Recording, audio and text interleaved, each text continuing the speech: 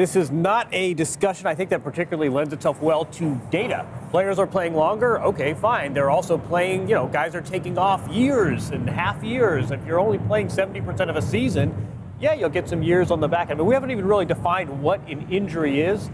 My point on all of this is this is not okay, and clearly, What- what is this? here. What is this? The number of players, this. the number of players who cannot. I'll let here. I'll define it. The number of players who cannot complete a season without some sort of compromised physical state. It's not just the guys at the top of the game. I mean, literally go through a draw and note how many players have not been able to finish one of the last five seasons on account of injury. And me, I'm, I'm going to stop you for one second and let's look at. I don't have this data prepared because I didn't know this was going to be your not a data tactic. No, no, I'm. Gonna, you want data? I don't want. I don't want being in the middle of this. Wait, It's wait, nice wait. not having Let's enjoy it. I don't. gonna enjoy it. It's good. I, I don't want. position to be I, I don't want data. What I want is for someone to say this facts? is not Would you like okay. facts? Let us investigate this. Let- what is going on here? Let, let me give you some a- facts, John. Let's look at the amount of tournaments that players were playing back when and I played and Justin played back 15 years ago compared to today. If you look it up on the website, it's right there for you. Players play more tournament weeks than they did back then. Look at the top 100 average amount of tournaments of the field players.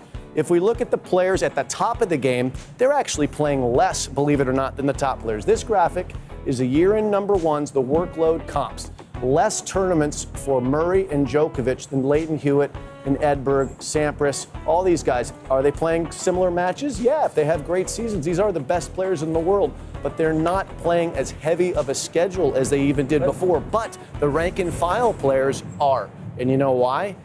But Yes. this, but that, I mean, that's a whole. jo- But, but I think that's some dirty data right there. I mean, look at Dirty Miles- data? How's Look that at dirty? miles That's as traveled. clean as it All right, gets. hold on, Look let- wait, wait, let- but let's reframe- let's reframe the argument. In the Miles point, let's look at transitions from one surface to another. I traveled But the look world At, look at what it's no happens in the course of those points. I mean, we always talk about how physical it is. Point. Look how John, many you more talk about how, balls phy- are you want to talk about how physical it rally. is? Who is more physical than this guy? When did your arm give out? When did your when did your arm start bothering? When did you have dead arm? Balls being 20 struck 27 years old. His Balls arm started struck to bothering. rally. I'm going.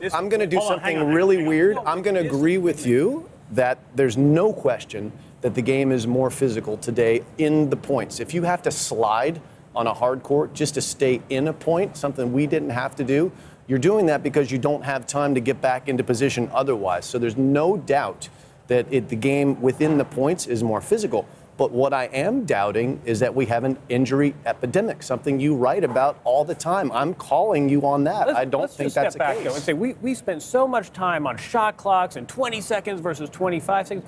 We have an entire cohort of players, not just at the top. I asked Thanasi Kokkinakis, but literally go look in that locker room.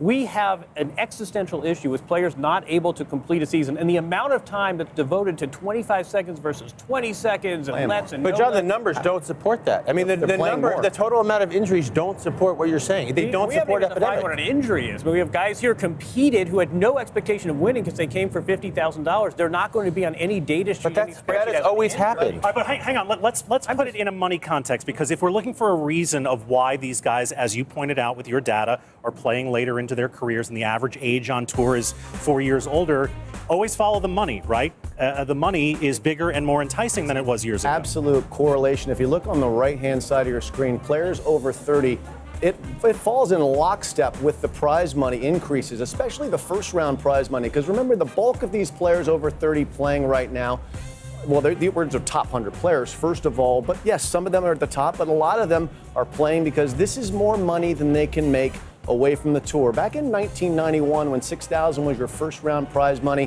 1996 at 10,000, guys and gals could leave the tour, go be club professionals, and make a similar living with a much lighter travel schedule. And you got to remember, when you're 30 years and over, now you're getting into the family time of your lifestyle, right? So now the incentives to be your, to continue to be your own boss have a wonderful life and make gobs of money are out there if you're a top 100 player because of the work that Justin did on behalf of the players to get the prize money uh, increase. But you say there are more injuries. I talked to Clay Sniteman, an ATP trainer in the Math. locker room yesterday. Math doesn't lie. We're going to put some graphics up that are going to show facts that the ATP has put out. It shows the registered injuries in, in the last couple of seasons are up 3%. I would hardly call that an epidemic. Injuries this year compared to last year from January to Cincinnati are actually down 6.5%. And look at all the players in the top 100. Clay was very adamant about look, The reality is we're dealing with older bodies. It's wear and tear. And don't just ask Clay. Go listen to tape of Rafa and Roger in the pre-U.S. Open press conferences saying it's totally normal that players that are older are getting injured. So I mean, I think there's there's You can't have it both oh, ways. there's You lo- can't have it both ways. right? You can't be so happy that guys are playing longer and playing when they're older. That's my right. point But then also, but of course, there's a direct correlation of playing longer. There's miles on the the odometer. Their bodies many- are beaten down. How do we have these guys go 11 months a year? They're all taking time off. I, I just think Dude, that Roger Federer's we haven't 36 even- years old. He's the favorite Federer- at the US Roger Open. Rafa. Nadal, if you were told a couple- five of the last John, 11 come on. If you were told a couple years ago right, that Nadal would be back at number one in the world, uh, you guys were all saying Rafa Nadal is going to need a and how many- tourniquet. It's how going to many need Monty Python. His arm's going to fall. His many years knees going to fall. Andy? Roddick. I mean, how many times did John McEnroe say that his arm's to off the way he serves? all right, larger point. I mean, guys. we, we can cherry pick our examples. How many years have Rafa Nadal not played all for? I mean, we can cherry pick. Here's my point. How many years did Andre Agassi take off Wait, wait, of his career? Here, macro point. Are you okay with this? I mean, don't you think we ought to be investigating the source? Is it season two? I mean, everyone has an answer, right? Rafa have Nadal. Rafa Nadal says the balls are different. That's that's confusing. Well, that's things. factual. I No, have- I, I I'm have saying, one- one final okay, point. Are you okay with in? this? Are you are you okay with the rate? Am I okay Can with I players being hurt and not being able to play? Yeah. Obviously Where- not. where but I'm the- very happy that Rafa imagine- Nadal's number one in the world another- again, Roger another Federer's 36, Jim, and bring- he's still the favorite. Right. Bring us home here. I, I think the final point here is, is no one wants to see players injured, John, and, and we're not trying to gang up on you here. What, what we're doing is trying to lay out the facts on the ground. The ATP since 2006 has had a injury prevention plan in place for the players where three times of the year they can see specialists and they can see where what their areas of weakness are that may get injured later on. So they've had a, play, a plan in place for over a decade now that the players are free to use. They're not obligated to use it. It's their choice. They're, they're independent operators. But I don't agree that there's an epidemic. Clearly, I've made that, that clear. And I don't agree that the tour is doing nothing about it. I do agree that the game is way more physical than it's ever been. And I, and I also agree that the players are going to continue to play longer as long as the money is there. So those are my bullet points.